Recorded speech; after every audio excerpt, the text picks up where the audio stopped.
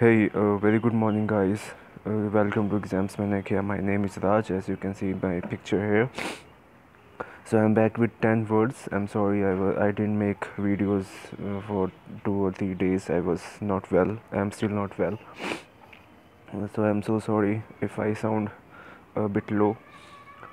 So I have 10 words which would be very important if you're preparing for any exam. Okay, you, it it can it could be um, IELTS or TOEFL or UPSC, SSC, PSC or others, or if you just want to improve your communication skills. So these words would uh, really enhance your com- uh, communication skills and put put a very uh, put a very good impression on others. Okay, if you use them in your uh, communication skills. Okay.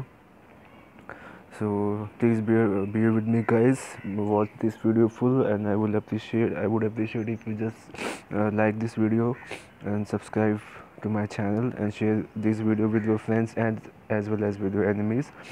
Okay. And uh, I have a question for you. So uh, you can see this uh, uh, green crea- creature here. Okay. So I want you guys to tell me three different names of this green creature. Okay. Uh, not in English, obviously. I know crocodile or alligator. Instead of these words, uh, in your language, what do you call this creature? Okay, in your language. So, without wasting any time, let's get started. So, awesome people. So, our first first word is connivance. So, it means the act of allowing an illegal action to take place. So, as you can see in this picture, there's there are persons who are allowing who are giving bribes to each other. So, they are allowing an illegal action to take place. So, you can use this word connivance for this kind of uh, situation, okay, or this kind of act. So, the synonyms would be collusion, uh, complicity, collaboration, involvement. Okay, the antonyms would be disagreement, disparagement, judgment. Okay, so you might have seen people doing these kind of activities in your daily life. Okay, or, in politics or in other at any other place. Okay, so you can use connivance for these kind of acts. For example, due to the connivance of corrupt police officers, dealers have been able to sell illegal things inside local schools. So you might see might have seen this thing these uh, kind of things in your daily life okay? So you can understand the meaning of this word very clearly. The next word is impeccable. So it means perfect in every way. So uh, uh, this word goes for girls. They always think they are perfect in every way so the girls can use this word for themselves. Even the boys if you think the same okay. So uh, actually nothing is perfect so but that is an- the other thing okay. So the synonyms would be flawless faultiness unblemished spotless stainless the things which are perfect in every way. So you can use impeccable for those kind of stuff. You can use this kind this this uh, this word for things which you think are perfect for in every way okay? The antonyms would be obviously impo- imperfect sinful. For example impeccable is not a human quality as everyone everyone makes a mistake as i said nothing is perfect okay? It just depend on your perception. If you think things are if you think things are perfect you can use impeccable for that okay? Uh, the next word is exa- exacerbate exacerbate okay so it means to increase the severity or worse okay? So as you can see in this picture there is a hand and i think there is a person who is uh, smoking. So you can uh, now understand the meaning of this word. Because if you smoke you can you increase the severity or make things works uh, worse for you. So synonyms would be aggravate make worse worsen inflame compound all, all these all these words are very easy easy okay? So antonyms would be calm reduce. So if you when you increase the severity of uh, or make things worse for you you can use exacerbate for that.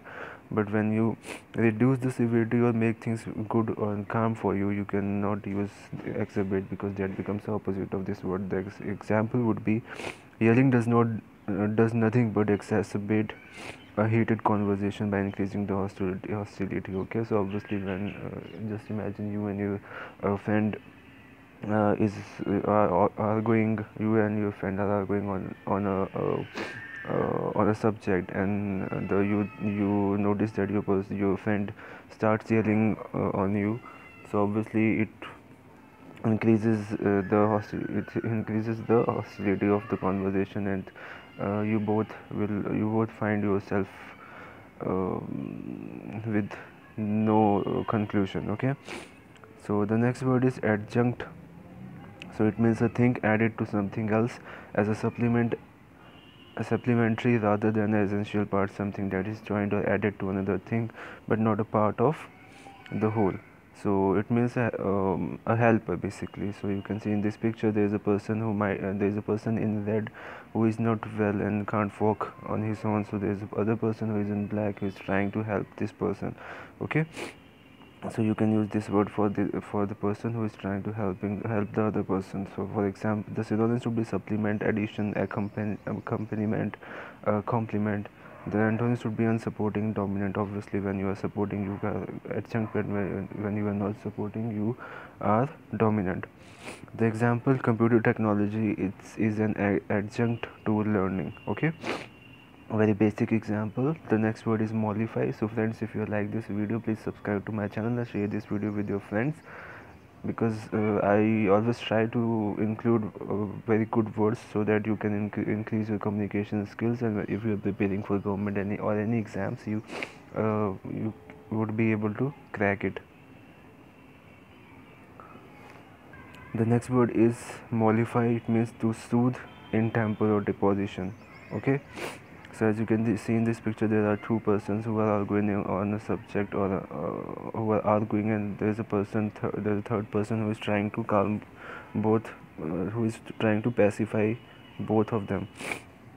Pacify the both okay? So you can use this mollify for this third person okay?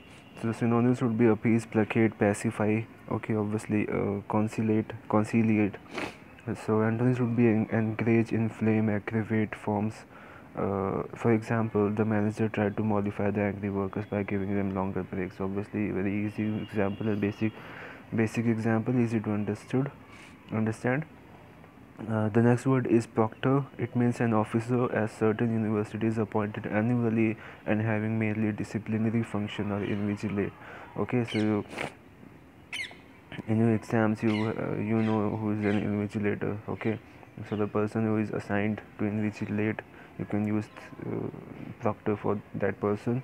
The synonyms will be uh, invigilate watch keep an eye on uh, watch over observe. Okay so invigilate the work of an invigilator is to observe and to mm, keep an eye on the students who are giving exams so that they can't cheat okay? And uh, they can't misbehave. For example 18% of the faculty reported that graduate assistant frequently proctored exams. 18% of the faculty of the reported of the universities university were uh, frequently proctored exams. So very basic example the next word is uh, aforementioned okay? So it means regarding someone or something previously mentioned. So as you can see uh, i can explain you this picture but you might have not know the meaning of habeas corpus. So the meaning is the foresaid foregoing forenamed or said. The things which are already already said and now it's the same thing is happened in present. So you can use aforementioned for that kind of things. For example none of the aforementioned candidates are worthy of becoming governor of our state. Okay? The next word is mimic. A person is skilled in imitating the voice. Okay? So a person skilled in imitating the voice or actions of others in an entertaining way. Obviously you have seen people who imitates the uh, politicians or actors in a in a comedy co- comedy way in order to uh, make comedy okay in order to make entertainment okay? So you can use this word mimic obviously okay? So the synonyms we imitate copy impersonate. The antonym antonyms would be uh, authentic. So uh, things which are copied they they are not authentic. Bona fide legitimate genuine natural real very basic word. Example will be his brother can mimic the barking of a dog to perfection. Scare uh, scaring thieves away from his property.